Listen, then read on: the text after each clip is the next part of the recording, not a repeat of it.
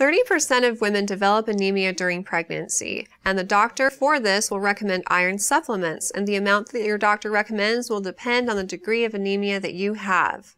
Generally speaking, a prenatal vitamin has enough iron to get most women by, but for the 30% of women who have anemia, they may need anywhere from 30 milligrams to 120 milligrams of extra iron per day, on top of what they're getting from their prenatal vitamin.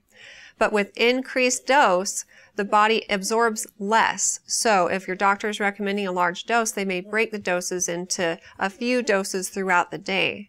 So if your doctor has recommended iron supplementation and not given you specific instructions on how much to take, I suggest calling their office and talking with them about it. Based on their knowledge of your lab results and circumstances, they'll be able to give you the best advice about how much you should be taking. If you have more questions for me in the future, feel free to ask them on our Facebook page at facebook.com forward slash Intermountain Moms and recommend us to your friends and family too.